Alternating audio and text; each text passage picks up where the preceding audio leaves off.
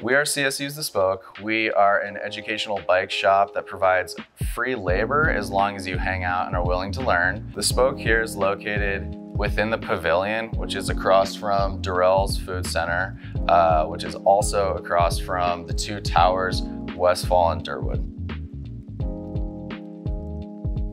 We specialize from anything around bike maintenance, bike part replacement, uh, just about anything you would like to do with your bike, we're more than willing to help you figure out. The first thing we do if a person walks up to our shop is check in, see what they want to do with their bike. Typically it's a flat repair or their bike hasn't been touched in a couple of years and they just want to make sure things are working.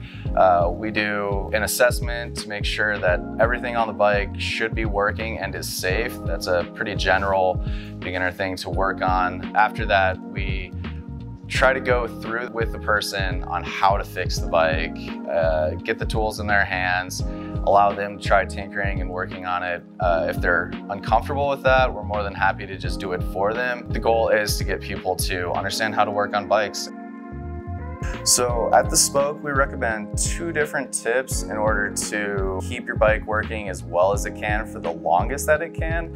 Uh, the first biggest thing is keeping up on maintenance. Maintenance is one of the more important aspects of taking care of a bike and owning a bike.